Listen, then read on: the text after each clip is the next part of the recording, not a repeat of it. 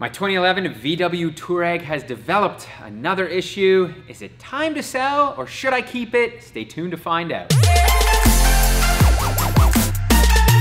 If you guys aren't familiar with this car, this is a 2011 VW Touareg TDI and it is my wife's daily driver. I drive it sometimes too, but it does not see a lot of love on the channel because 95% of the time it drives great, there's nothing wrong, it is a great vehicle. However, I did run into an issue that at first I thought was something very minor, which I didn't do much filming of. Uh, we were on our way to my in-laws, which is a three hour road trip, and everything was fine. And all of a sudden, I had a overheating warning come up on the dash, and I looked at the temperature gauge and it was fully pegged. So at that point, the car does go into limp mode, which means I don't have pretty, I, I, think I have like 10% throttle. Even if you floor it, it's only 10%. Just gives you the slightest acceleration. Pretty much tells you to move over and park or, or stop the vehicle. So I ended up pulling over onto the median and within, let's say five seconds, it went from being fully pegged to back to 90 degrees, which was right in the middle, normal operating temp temperature. So I thought, huh, okay, maybe that's just a weird hiccup. Let's keep driving. Sure enough, half an hour later, same thing happens blows my mind. It goes from 90, bam, all the way to 130. Flashes the light again, at which point I don't even pull, as I'm pulling over, it goes back to 90. So, all right, I'm thinking to myself, again, maybe this is an electrical issue. It doesn't seem like the car is overheating. It wouldn't be able to go from normal operating temperature all the way like that through a you know normal cooling system unless there's an air pocket, maybe. So uh, I call the VW dealership. They tell me, oh, we've heard of this before. It is the coolant temperature sensor, which is located in the lower rad hose, easy fix. I grab that, replace it at my in-laws, go for a drive, and within 20 minutes, it does it again. This time though, it doesn't go full uh, hot. It kind of like wanders, it goes like 110, and then it goes back. So I was like, oh, okay, this is starting to get pretty interesting and weird. Sure enough, um, after that, I end up driving the car home thinking, okay, it's not a huge deal. And it does happen once again, and again, and again. It probably happened about four or five times while I was driving, and you could see that it was not pegging. And what I found at that point was that if I downshifted and added more RPM or throttle, it would go from you know being almost full warm to about right in the middle, or sorry, right in between normal operating temperature and overheating, and then kind of hover back and forth, and then it would go back to normal. So I was like, okay, this is just so weird. Nevertheless, I get it back to the shop, and I figure out that there is another sensor that needs to be replaced, and that is the main engine temperature sensor, which is located underneath the turbo huge PITA to get to. That job was not fun. And within 20 minutes of driving it, once again, it overheats. At which point, I'm baffled and I'm still thinking this is an electric gremlin, not that there's something actually wrong with the cooling system because it just like, it wanders and it, and it spikes. So I thought, ah, man, could it be a air pocket? But thinking to myself, like, how would that air pocket get in there? The coolant, there's no coolant leaking or anything like that. So it seems like everything is okay mechanically. At this point, I figure I don't got the time. I take it to Rob at Auto Evolution, who's been my go-to with these cars. And I shot some footage there, so let's cut to that. So I am back here at Auto Evolution, and Rob here has been working on this thing for what, the better part of a month, right? Yep, it's been about that long. And you've you fixed it, thankfully. It's finally fixed. But my goodness, it's been like the to me, one of the craziest ordeals that I've heard for what seems to be such a simple problem where the truck I originally thought wasn't overheating, but it was. But you think now that you figured it all out, why don't you just explain to me how this whole thing went? All right, well, first we tried to check the cooling system to see what was happening. We saw the, the lower rad hose was cold. The first things you check, see how the operation of the thermostat is. Everything was looking a little suspicious. Lower rad hose always stayed cold, the upper rad hose stayed hot. First thing you do is go to a thermostat and look at that. So we, we took apart the thermostat. The th first thing we found was the thermostat spring was actually broken. There's a plastic retainer on the side that holds a secondary spring, and that spring, that, that side piece that holds that spring on was actually broken. Uh, so right off the bat, we say, okay, a thermostat's bad. We go to replace the thermostat, put that back in, bleed the system, and we're still getting overheating issues. so that, that's, that's all common stuff. Right away, when you see a broken thermostat, you should see that, that should be, fix your problem, but it didn't in this case. So we check all the temperatures of all the other hoses. We went through the cooling system. We found that the EGR cooler thermostat, the lower rad hose on that was cold, the upper one was hot. So we say, okay, well, it's obviously not circulating coolant properly. That, for some reason, they bolted it directly to the top of the thermostat housing. So we replaced the EGR cooler thermostat, bled the system again, ran the car, and the cooling system was working perfectly. Everything was functioning, everything was flowing, but for some reason, that still didn't fix the problem. Oh my goodness. The car had still random gauge fluctuations. The temperature would go all the way to hot, cold, max. And at that point, was it physically overheating? It was. It wasn't, right? No, it was definitely a gauge reading, a voltage issue between the computer and the system, and telling the voltages were not converting properly. Uh, we had sporadic readings all over the place, and we had to go further into this problem. But with seeing mechanical issues like the thermostat not working, or the thermostat physically broken, the auxiliary thermostat not working, like these are all common issues that these cars have, and you fix it all, and it should rectify overheating issues.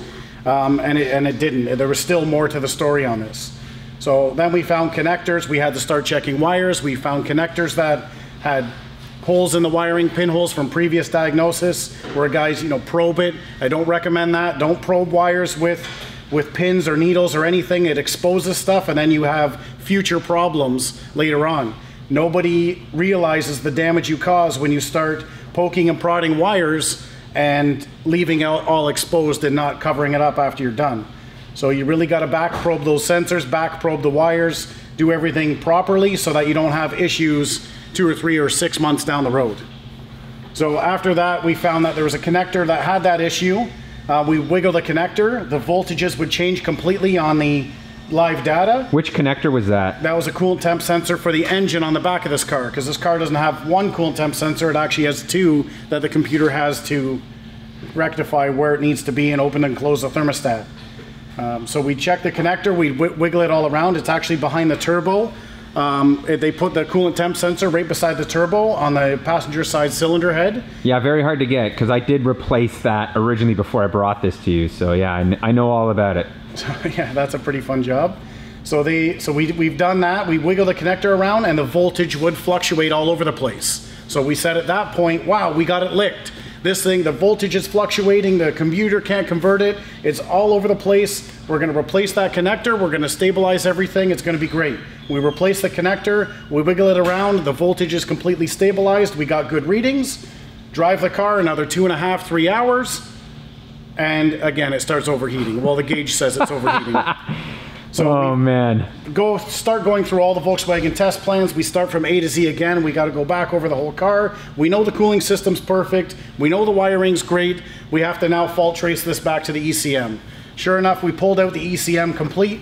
We took it apart. We found that there was cold solder joints that were actually dislodged on the ECM control board and we re-soldered all the joints, redid the whole board, and now put it back in, test the system, drove it another three and a half, four hours, and the system is now perfect. Everything works. Well, thank you once again. You've come to the rescue and fixed this thing for me. I, I, at first, I was really, really worried because, you know, it was above my pay grade. And I guess with these types of vehicles, you know, for the average do-it-yourselfer, I think the recommendation is bring it to a professional such as yourself because you would be able to fix this. I think even at a dealership, they would have a hard time because you, uh, you know, we were communicating back and forth, and you went above and beyond, drove this thing constantly because this was an intermittent problem. It wasn't like this was happening right away. So I certainly appreciate you putting in the time and effort and, and getting this thing sorted out for me. So it is now back to being a working, running vehicle. Yeah, it's it's it's been a, a bit of a challenge. It's been a good challenge for us, but it's uh, we're happy to finally see it go out the door and everything's good. You guys will be happy with it. Right on. Thanks, man. Talk about crazy. You know, and uh, I, I think about working on cars and whatnot, it, it doesn't dawn on me sometimes the amount of time and effort it takes to fix something. And I got to give a big shout out to Rob. Thank you for all the hard work and effort that he put into this thing. He certainly went above and beyond to, to get this job done. Uh, it certainly wasn't cheap. At the end of the day, it was 1,500 bucks Canadian, so around $1,200 US to, to do that. But um, what Rob forgot to mention was that he believes this all stemmed from this uh, bleed screw up here in the coolant pipe. And when he went to test, pressure test the coolant system, he found that there was a bit of a leak coming out of this, which would make sense, and that's why it drew the air in originally and caused this whole mess. Uh, he also thinks that when I drove the car home, every time it would cause that overheating issue, the air pocket was getting up into an area where the, the temperature sensor was obviously, but when it wasn't there, it could have been in the thermostat area, which was causing uh, deformation in the plastic or whatever, causing it to fail essentially because as he mentioned, he had to replace that. So what an epic saga. And so begs the question, Dave, Mm. where to from now? Man, you've had a bit of a journey with this thing. I don't know. Yeah, I mean, I, I've owned it less than two years, and uh, the steering wheel lock thing was inconvenient. And expensive. Yeah, uh, it just depends what your definition of expensive I is, because so. I feel like if you own a German vehicle, Yeah. anytime it goes to the mechanic, it usually is about a thousand dollars. Yeah, yeah, just to open the So, hood. Yeah. Um, and truth be told, like I, I still love the way this vehicle drives and has all the creature comforts. Like Oh, no it's, doubt. it's I think one of the best SUVs on the market. Yeah. So it would be hard to say goodbye to it. Mhm. Uh, there are certainly those pros, but the flip side is And now that you fixed all these problems, it's good to go forever now. it could right? be. You, that's the thing. You, just, just never, never- know. yeah, you're you never know. This is it's kind of like a high uh, stakes game of, of blackjack. Russian where, you know, roulette, yeah, yeah. where you're just Yeah, yeah. like rolling the dice here, thinking, well, am I gonna be good or not? And the, the one downside to what everything happened was